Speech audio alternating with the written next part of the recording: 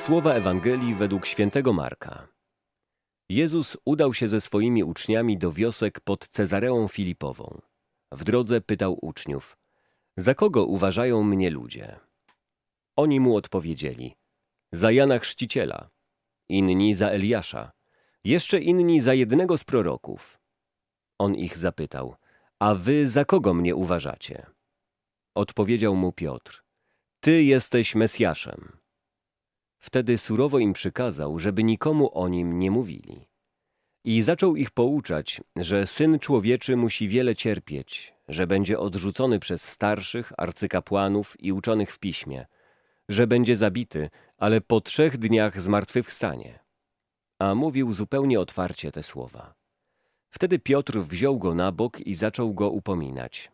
Lecz on obrócił się i patrząc na swych uczniów zgromił Piotra słowami – Zejdź mi z oczu, szatanie, bo nie myślisz o tym, co Boże, ale o tym, co ludzkie. Potem przywołał do siebie tłum razem ze swoimi uczniami i rzekł im: Jeśli kto chce pójść za mną, niech się zaprze samego siebie, niech weźmie krzyż swój i niech mnie naśladuje.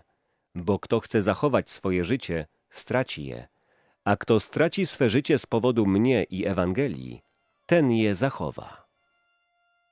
Krzyż jest na stałe wpisany w chrześcijaństwo, tak jak jest ściśle związany z osobą Jezusa Chrystusa.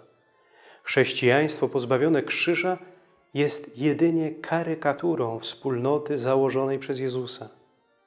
Jeśli ktoś chce pójść za mną, niech się zaprze samego siebie, niech weźmie krzyż swój i niech mnie naśladuje. Nie można naśladować Chrystusa, nie podejmując ofiary krzyżowej. Piotr odkrywa, a właściwie mówiąc, Bóg objawia Piotrowi tajemnicę mesjańskiej misji Jezusa. Ale Piotr chce znać jedynie Chrystusa bez krzyża, dlatego otrzymuje ostrą reprymendę. Zejdź mi z oczu, szatanie, bo nie myślisz po Bożemu, lecz po ludzku.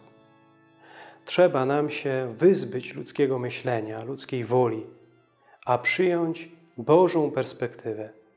Święty Paweł napisze do Koryntian Nauka bowiem krzyża głupstwem jest dla tych, co idą na zatracenie, mocą Bożą zaś dla nas, którzy dostępujemy zbawienia.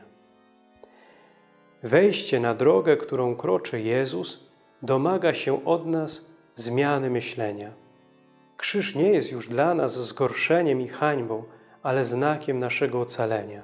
To właśnie przez nasze drobne i większe ofiary – możemy współcierpieć z Chrystusem dla zbawienia naszego i naszych bliźnich.